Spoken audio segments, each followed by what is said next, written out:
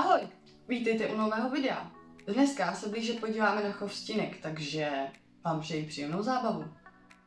Takže jako první tady máme Porcelio laevis, Dairy Cow, což jsou takový nejběžněji chovaný stínky, ať už na krmení, nebo jen tak prostě pro zábavu, no pro zábavu, jakože jaký ten hobby, chov.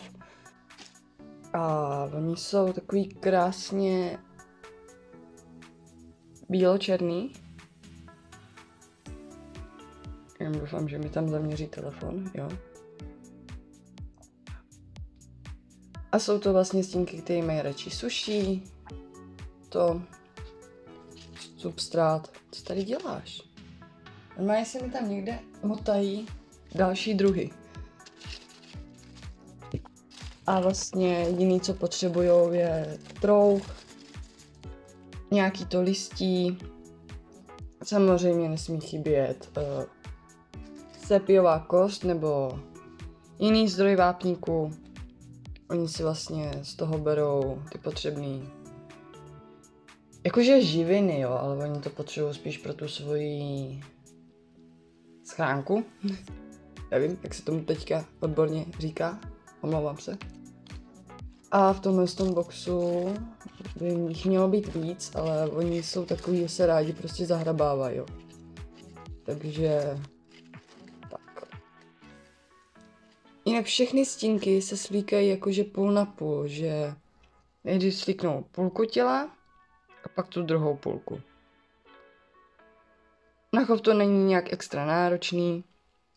Dá se říct, že to je úplně jednoduchý, stačí to prostě občas zalít vodou. V začátku jsem třeba je rozsila a pak jsem zjistila vlastně, že to není potřeba, že prostě spíš jako, že prolít jeden roh, takže jim to občas takhle proleju. Takže si vlastně tadyhle žijou a myslím si, že i spokojení. Tak, jdeme dál. Jako další tady máme Porcelio Levis Orange. Někde? Tady jsou. Je to jakoby stejný druh jako ty Dairy Cow, akorát jsou takhle krásně oranžové. Chov je úplně stejný jako u těch Dairin. Prostě radši suší, občas prostě jenom zalít vodou a jsou prostě spokojený. Samozřejmě trouch, listí, tady je třeba hafou. A budou spokojení. Oni bývají strašně zalezlí, takže já je prostě tyhle úplně vyhrabávat nechci. Jo, tadyhle třeba.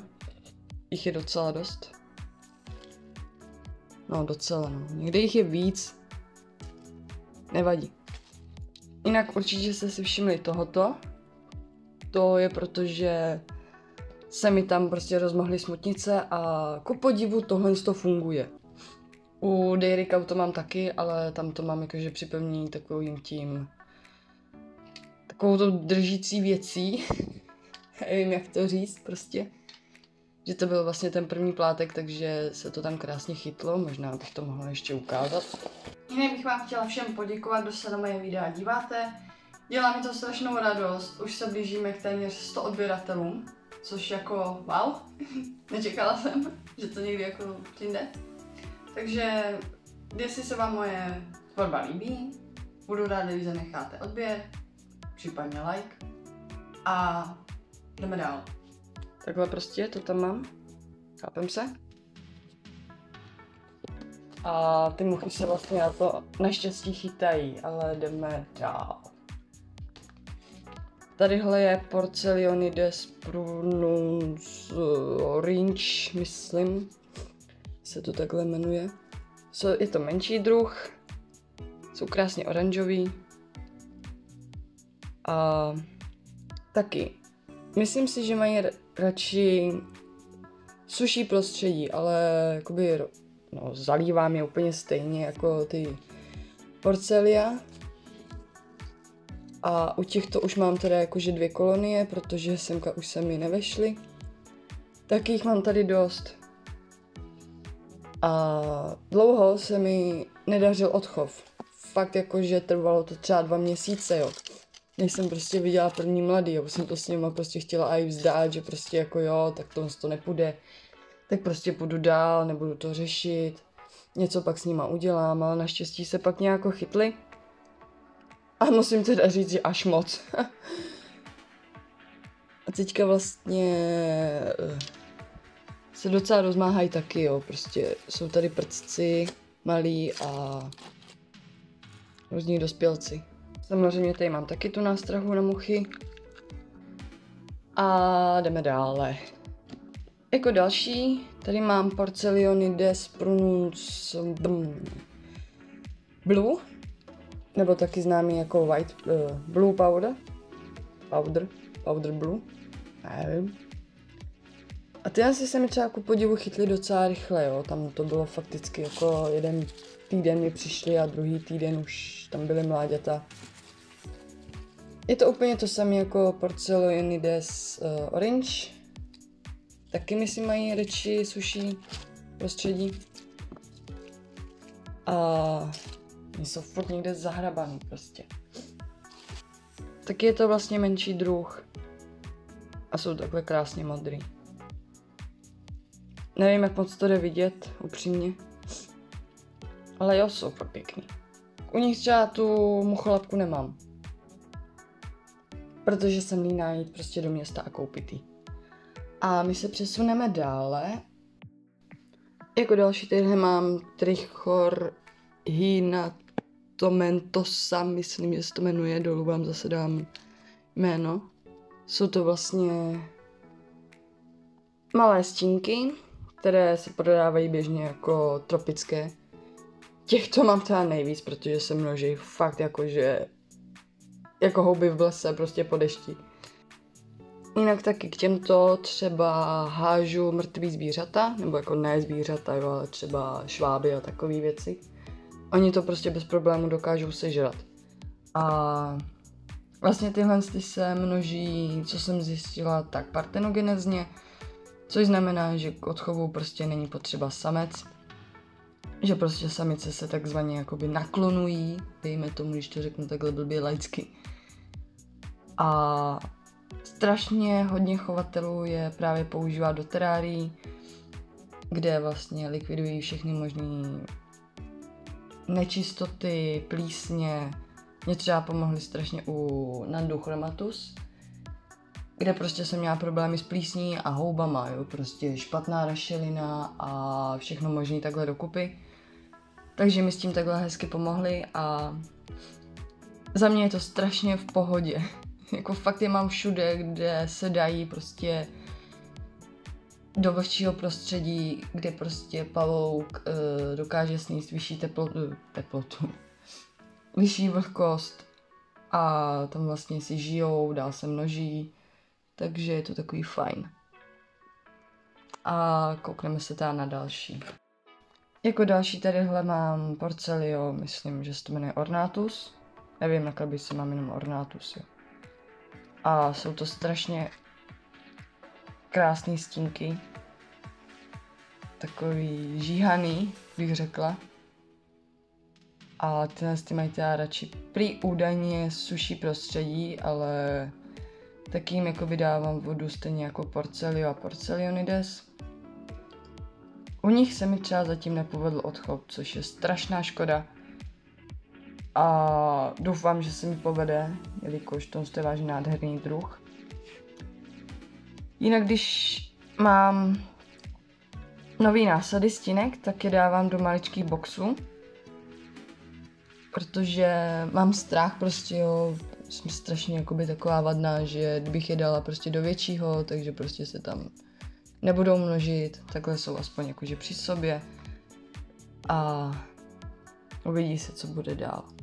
Jako další tady mám svým způsobem nechtěný samozběr, kdy jsem vlastně jela pro hrabanku a omylem jsem si s tím dotáhla nějaký stínky. Podle všeho je to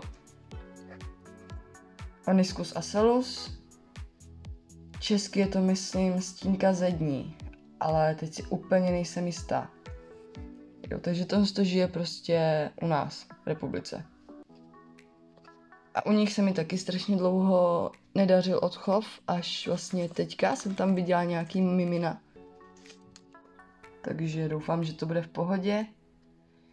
z tohle z toho jsem vycházela prostě z místa, kde jsem je našla, jo, takže vlhčí prostředí.